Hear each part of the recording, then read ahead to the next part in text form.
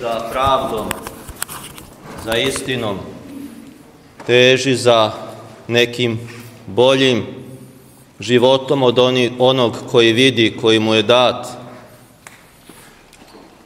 A u toj težnji neprosvećen blagodaću, težnji za ljudskom pravdom i ljudskom istinom, on se sve više udaljuje od one nebeske, životvorne pravde i od one večne istine i smisla svog postojanja. I koliko god da čovek želi ovaj svet da ustroji po nekom savršenstvu i koliko god da se sa svih strana čuju propovedi o miru, o jednakosti, o ljubavi, koliko god da se propagira čuvanje i prirode i bića svoga bližnjeg, koliko god da se i obogotvorava telo, čineći se sve da mu se podari zdravlje i dugovečnost. Ipak vidimo u stvarnosti oko nas sve suprotno. Vidimo krvave ratove, neretko i bratoubilačke. Vidimo uništenu prirodu, svet oko sebe koji grca u svom nestajanju. Vidimo razne bolesti i smrti svuda oko nas, nemoćni da bilo šta učinimo, bilo kako ih zaustavimo. Vidimo zlo kako likuje, kako se bogati na račun siromaha, zlo koje, reklo bi se, nadvladava dobro. I onda se čovek zapita gde je tu pravda, gde je istina. A današnje nam evanđelje otkriva smisao jedne drugačije pravde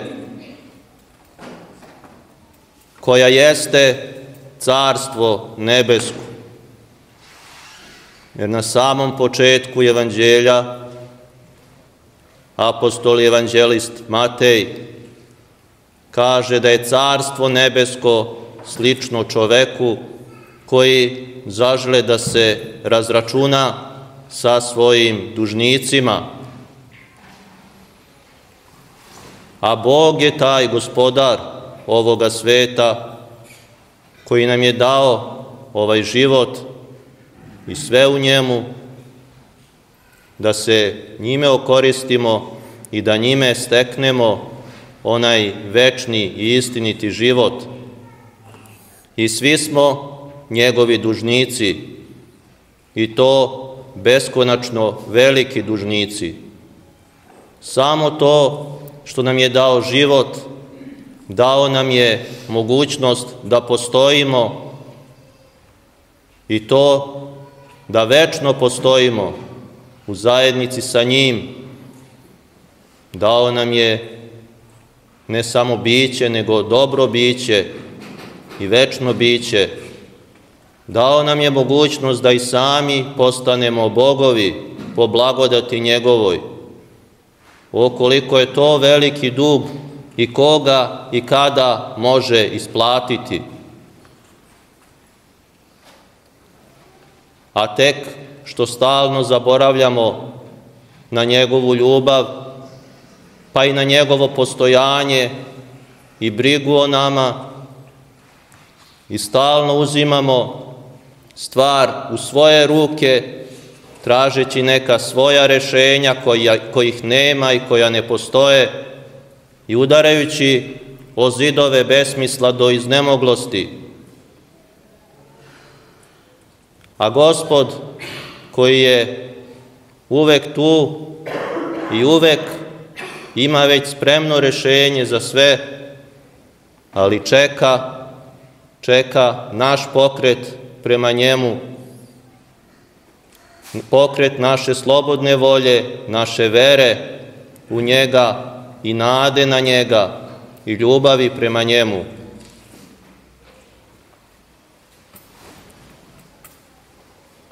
I spreman da nam oprosti sav naš dug. Naše je jedino da ga uočimo, da shvatimo svoju nemoć i da predamo i sami sebe i jedni druge i sav život svoj gospodu Bogu našem. Vidimo koliko je čudesna ta pravda Božja. Po zemaljskoj pravdi gospodar bi ovog dužnika imao da baci u tamnicu dok ne vrati sav dug što bi potrajalo. Potrajalo bi mnogo duže nego što je život tog čoveka.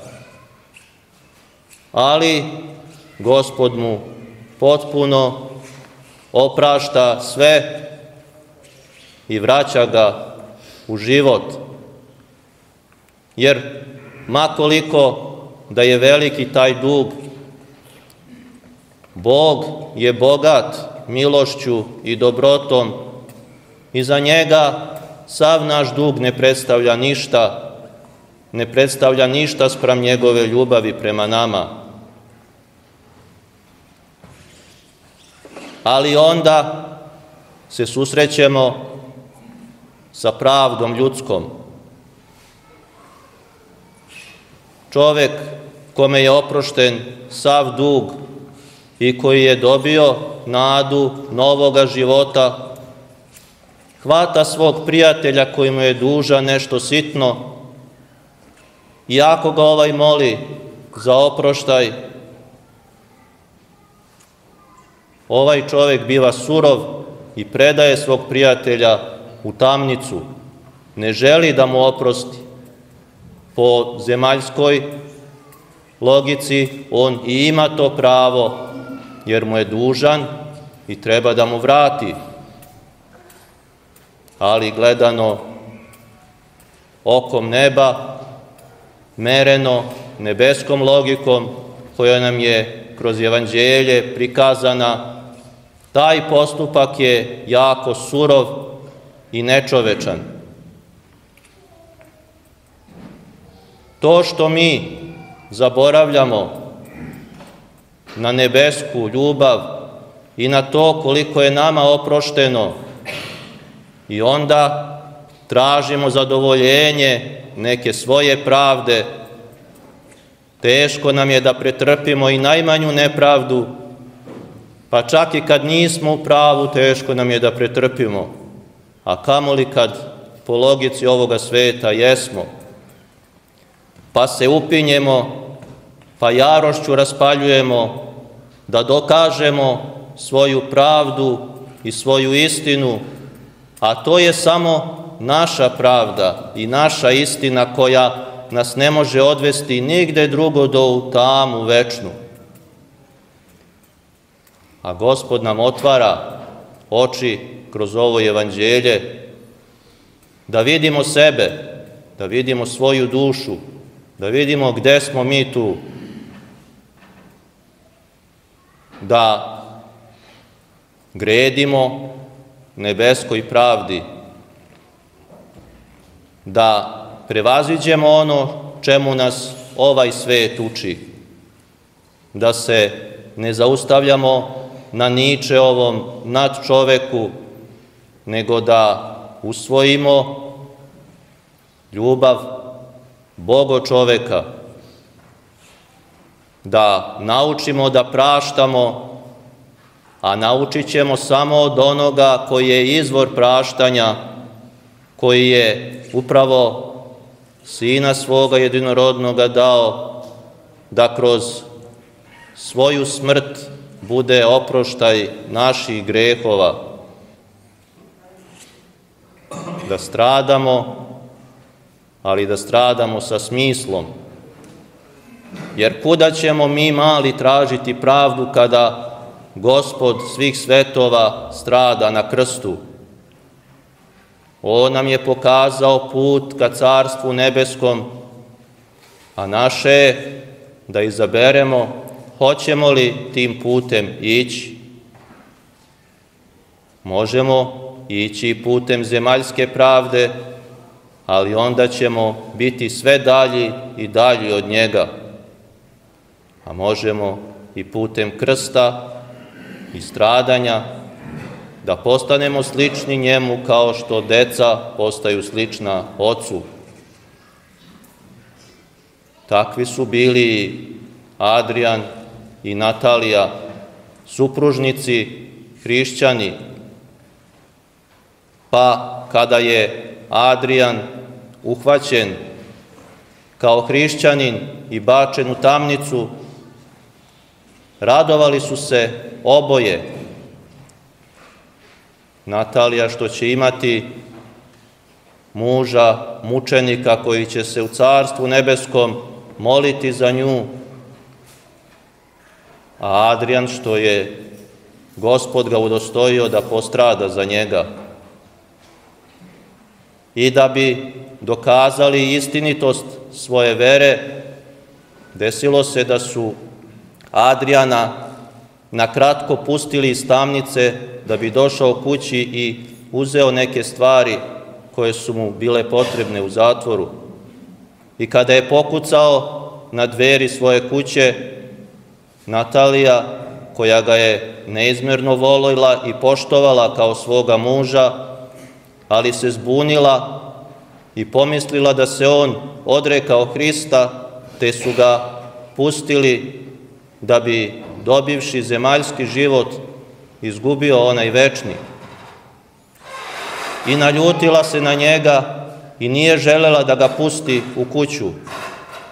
Govorila mu je da ide da mu ne treba, ne treba joj takav muž koji je slab i odriče se Boga. I tek kad joj je objasnio da se nije odrekao, da samo dolazi na kratko i vraća se da strada, onda ga je tek pustila u kuću, uzeo je što treba, oprostili su se, uzela od njega blagoslov kao žena od muža i on je pošao da strada a onda ona njegovo telo uzela i kao svete mošti ga je donela sa sobom. To je ona nebeska, istinita logika koja se prkosi logici ovoga sveta, koja traži svoje mimo Boga, mimo večnosti i sve to kao pesa koji prolazi kroz ruke i ostajemo prazni.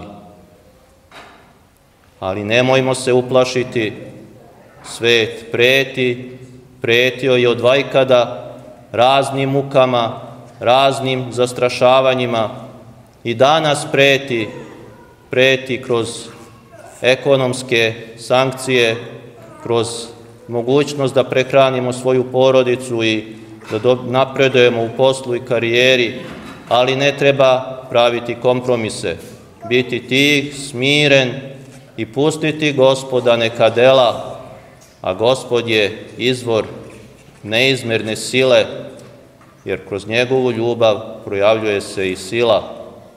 I da odagnamo svaki strah, svaku sumnju, svaku zbunjenost, da hrabro idemo putem krsta, da prođemo onoliko koliko nam je Gospod ostavio i da se sretnemo sa njim da praštamo svojim dužnicima, jer praštanje je najkraći put do carstva nebeskog. One priče, eto za kraj da se podsjetimo onog monaha koji je bio nemaran u nekom svom podvigu, a pred smrt bio je neizmerno miran i spokojan i radostan i lice mu je bilo svetlo. I njegova sabraća koji su znali za njegov nemaran život jer je često znao da kasni da bogosluženja, da molitva njegova ne bude baš redovna i tako na poslušanjima je bio spor, a onda su mislili da će se mučiti pred smrt. Međutim, kad su ga videli takvog, malo su se zbunili i pitali su ga šta osjeća i čemu se nada.